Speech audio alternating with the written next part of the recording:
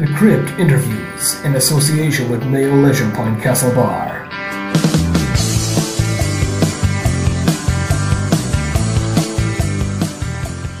You're listening to The Crypt, and today's special guest is John Dugan, who played Grandpa in the cult classic The Texas Chainsaw Massacre. So you're very welcome to the show, John. Hello.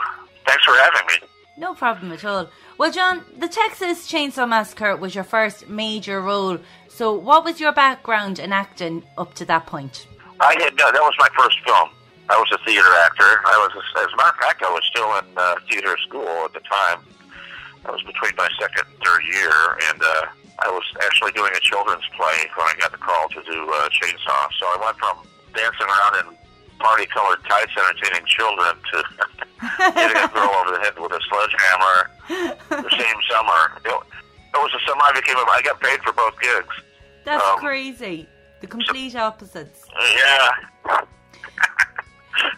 And then when when you got the role of Grandpa, what description was given to you of the character? The one, the key word that the Kim Henkel gave me was that he was an embryonic old man. He was so old that he started reverting into a child, an embryo. Really, gone. You know, he was embryonic was the term Yeah. that uh, that Kim used. And he was so freaky looking. What was the makeup process like for him? The, the, oh God, the makeup was awful. Um, makeup has gotten uh, much more comfortable in the last forty years. It was uh, it was liquid it was liquid latex, which uh, um, they don't they haven't used for years. That method is totally outdated. Uh, but like I said, this was 43 years ago, so I may be one of the last people to ever use that method on. But um, so, so it's like a rubber mask, a latex mask, and it's but it's glued down to your face. so I couldn't I couldn't just take it off between setups or anything like that. It was on. And it's seven hours it took to put on, and and then you got to work for like 26 hours after that because we're a no budget film, and you just go until you're done. You know, had to do that twice. Yeah, the first time I think I I, was only uh, I only worked for maybe 16, 17 hours after I got out of the makeup chair. The second time it was just a marathon. So I was in, but the, from the time I got into the chair to the time I was had the makeup off was probably over 30 hours. Uh, it, yeah, I was Texas in August, um, and it's quite hot down there. I don't know if you've ever been to Texas, but uh, it was miserable. All that on you and the heat and oh my god, I'd say it wasn't a pleasant experience at all. and then what was No, I Toby kind like? of had to. I, Sorry? I'm sorry. No, you go on. I, I said I kind of had to. I, I had to kind of go into a Zen thing, you know, because otherwise I would just rip it off. I, you know, I had to go. I'd find a happy place and just go there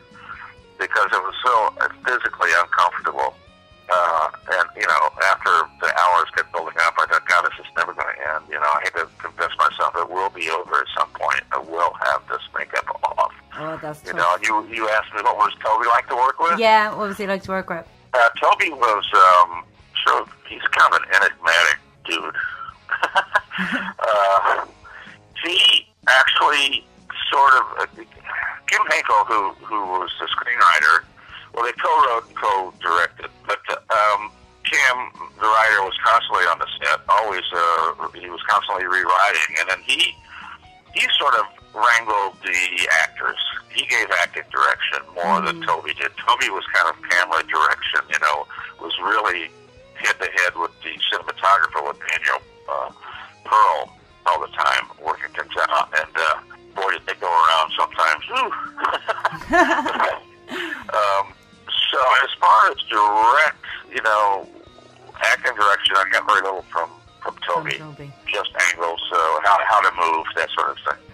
over the years, you're always asked the question about the dinner scene because that was a very tough shoot for you, wasn't it?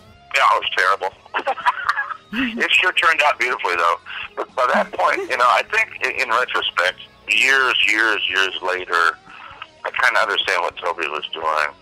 Because he pushed, at that point, we were pushed to the point of just exhaustion. Everybody was hot miserable and tired and pissed off.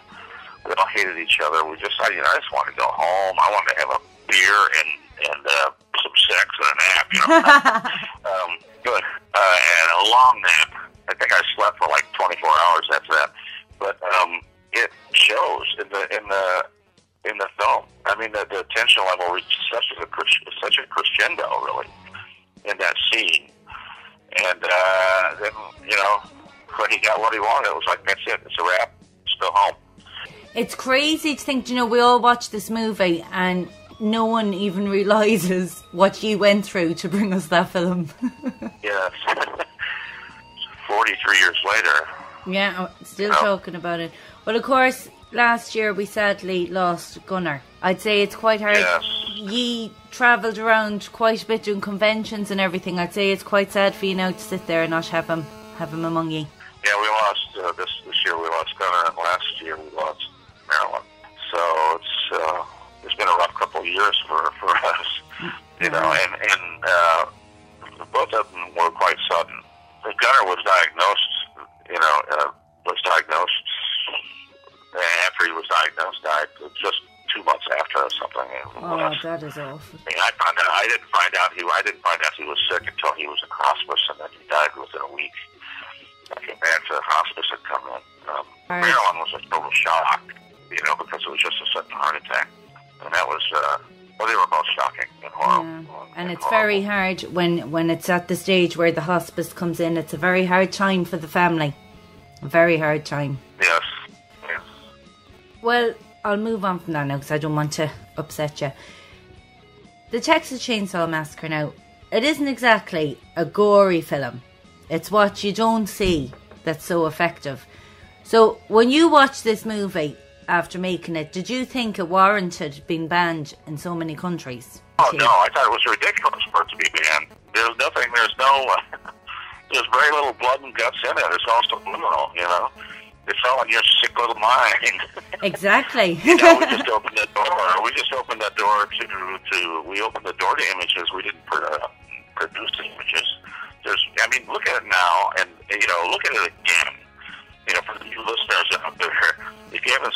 A long time, watch it again, and you'll be surprised at how little blood and guts there are in this film particularly compared to what's, what's on the screen now. My goodness. I know what you see nowadays is crazy, and that was nothing but I suppose different times, different attitudes. Do you know? Well, another thing is, I believe the truck driving away at the end of the movie was actually your truck. It was my sister's truck, and then I uh, she gave it to me years and years later, and I had it for a while, and then I, it uh, it broke down. It was in front of my apartment in Chicago, and uh, the ignition was broken. I couldn't uh, start it, and it, it was sitting for a couple of months, and uh, the Chicago, the city of Chicago, towed it away, thanks to a neighbor of mine that bitched about it sitting there. If you're listening, I hate your guts. Because you... you know who you are. By the time I went to get the truck, I had called them. I called the city and asked how long I had to pick it up, and uh, they said 30 days. So I uh, okay. So because I had to, I had to get it uh, a new license plate for it and uh, I I didn't have a lot of cash. I was waiting until my next paycheck, so I got paid and went uh, and and got a new plate for it, and went down to the yard where they haul those things. And uh, they couldn't find it, and then somebody said, "Oh, you need to go over to this trailer over there." And I went over there, and and they looked at the records and said, "Oh, it went to the crusher the day before yesterday." Oh my god! I said, "The crusher." I said, "Crusher."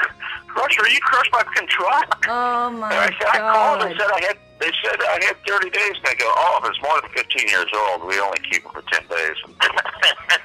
and we crush them. Well, let me tell you something. This is the city of Chicago. Those they didn't crush that truck. Somebody who works there took the truck and retitled it and gave it to their son for a graduation present. Oh, for God's Nobody's going to crush a perfectly mm-hmm. good pickup truck uh, and, and but Chicago, you know, so. And can you? You? That would sell for some money if you still had that now. God, it was it, it was devastating to me. Yeah. I loved that truck. But then in, in 2013, you reprised the role of Grandpa in Texas Chainsaw 3D. How did you feel when you got that call to get to play Grandpa again? blocked. I, you know, the, the, I got the call from first Kim Henkel called and asked if it was okay if I, he gives out my information to some producer. Of course, Kim Kim Henkel owns the rights to all things Jigsaw, uh, and he said somebody had bought, bought the rights and uh, they were interested in using some of the original cast members. Could I could he give them my information? And I said, yeah, go right ahead. And the next day, I get a phone call from Carl Mazzocone from uh, I think it was. And he said uh, that he was doing, they were doing a new Texas Chainsaw Massacre movie. And he said, we would be honored if you would consider reprising uh, the role of Grandpa. I said, are you kidding me? I've been waiting 40 years for, for this phone call. And uh, as a matter of fact, when we were on set, he made me repeat that story to one of the other producers. he got such a kick out of that. Well, I believe the set was so accurate that it was just like stepping back in time. Oh yeah, he was so proud. He was so proud of that house that he actually had a film crew. He had a, a, camera guy and somebody else there, camera and sound, a camera guy and a sound guy there, to film my face when I got out of the uh, crew van and, and saw it for the first time. I got out in makeup when they when they drove down to the set. Our uh, staging area was a couple miles away from the actual set because it was shot at a huge um, decommissioned uh, army base in in uh, Louisiana, which they use uh, a lot down there for for film. And they had found a big vacant area, several acres, and they built that house there. Of course, it was just a facade; there was no back to it or anything. Mm-hmm. But it was very impressive. And, you know, he wanted to get my reaction. He was so proud of it. Oh, I'd say so, of course, Gene. Well then, John, have you any projects that you're working on at the moment that you'd like to give mention to? I have a couple things in the can that are post production. Let's see. I just finished a uh, voicing an animated, not animated. Well, it's anim- I guess it's a stop motion uh, World War II film using like little plastic uh, army men. Yeah, and I voice uh, uh, the colonel, you know, the CO at the thing, and that'll be out in August, I think. Um, I just finished a film with the same company a few months ago called Billy Timber, which is about uh, early uh, Irish and Scottish uh, immigrants to the Midwest of the United States. Who uh, this is supposedly based on a true story. Who uh, are cannibals? Oh, Who turn to gosh. cannibals. Um, So, and this is the fourth film I've done with these guys. Uh, it's a new company. I can't think of the name of the production company. Damn, Bobby's going to kill me. Uh, You're sacked. but uh, this is the most project I've done with him. Um, and then I have a film called Devil's Ink coming out, which uh, that should be out in the fall. It's in post production now, and I I play the mayor of this town, and I, it's a it's a great role because he's a real asshole. I had a lot of fun with it. awesome. He's a real jerk. and it's called, it's called Devil's Ink, and it's it's kind of horror, but kind of not. It's like it's Yeah. hard to explain. There are some there are some creepy things about it, but it's not. I wouldn't call it a true horror film. I- But I don't know what genre. I don't know how to peg it. And those are all what I'm having released uh, this year. Oh, oh, oh, no, another one called Deviant Behavior, which I play a cop, a homicide cop, after a, a serial killer. And actually, the, the main character is an ex-cop, um, an ex-best friend of my character who is now a private investigator, and they get involved together. And it's a marvelous piece. Uh, And I got to shoot in Texas. It was I shot in Corpus Christi, Texas, for a few days down there, and that will be out uh, maybe by May. So I've had I've had a busy busy year, and then I have uh, two films uh, coming up. One's called uh, William Frost, and uh, it's a horror film. And uh, cast list uh, reads like the who's who of uh, horror film actors. The whole eleven has to do a you know a couple pages. You know, so I'm playing a cop again. And then uh, Victor Brooke Miller, who wrote uh, Friday the Thirteenth, the original one, uh, has something called Rock Paper Dead, uh, and it's also about a, a, a psychopathic murderer who uh, gets out of the is released from the hospital for the criminally insane and considered cured, and of course goes back to his wicked ways. And I play the uh, a sadistic psychiatrist from the mental hospital. Just meaty, nice little role. Just found out today they're they're, they're pitching it as a, a, a an anthology TV series. Well, I've seen a good bit about that online. I'm looking forward to it. Yeah, so I'm really looking forward to it. Where are you, where are you from? Is it? Ireland. My, my grandmother was from Galway, and my uh, grandfather was from Clare. Where was your grandmother from? My grandmother was from uh, County Galway, Clarenbridge, No way. and my grandfather, And my grandfather was from Woodford, Whitehall, you know, on the river, on the Shannon. Well, I'm in I'm in Mayo. That's just right beside Galway. Yeah. For anybody who wants to follow you on social media, do you have a Facebook page or a Twitter page that they can follow you on? Yes, I do have a Facebook page. I have a Twitter page, but it's been hijacked. I, I got I got hacked and hijacked. I haven't figured out how to get it back for myself. No so way. I don't even know what's on there. Except somebody started advertising, uh, advertising like uh, uh, vitamin supplements and stuff, and and and uh, followed like uh, the limit of people. I wanted to follow somebody and said, "You've reached your limit of one thousand people or ten thousand people." I went, "What? I only have I only follow like five people," and then I couldn't figure out how to. I just let go. Yeah. yeah, I'm on Facebook.